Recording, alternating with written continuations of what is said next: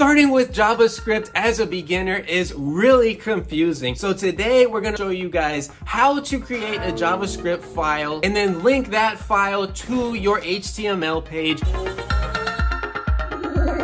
This is simply my live server and then over here is Visual Studio Code. Don't worry about all this. This is just everything that is creating what you see on this side. Next, what you wanna do is go ahead and right click, create a new folder. And what we're gonna title this is, we're gonna title it JavaScript like so. Then once you create that, go ahead and click on it. Now create new file and we're gonna call our file scripts.js go ahead and hit enter. Now you have your JavaScript file created. There's nothing going on in here. And again, we're going to get into how to actually write JavaScript on this channel later on. So stay tuned for that. But what we want to do now is go back to our H HTML page and then right here I have JavaScript commented out so this is where we're going to add our JavaScript file and connect that file to our HTML page. First, you need to create a script element and this element does need to have a closing tag at the end here, like so. Now go back into the opening portion of your script element here,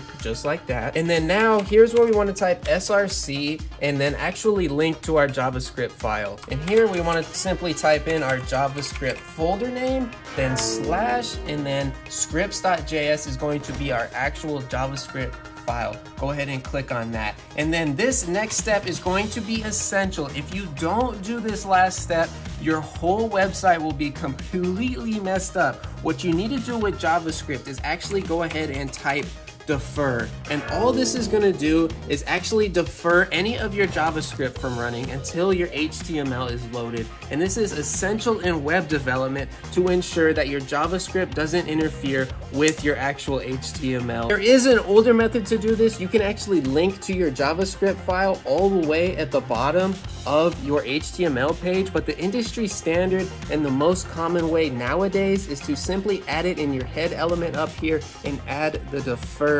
tag right here like that. And now if we go ahead and save that, our JavaScript file is now linked to our HTML page. Obviously nothing is happening on the live server over here, but we will get to that point where we're actually writing loops and other things like creating variables and maybe possibly recursion to actually change things on our HTML web page over here. Let me know if you guys have any questions today. I know JavaScript can be really, really confusing, especially if you're a beginner. Reach out to us through this video video or go to our website at kalmanwebdesign.com and we will help you out free of charge.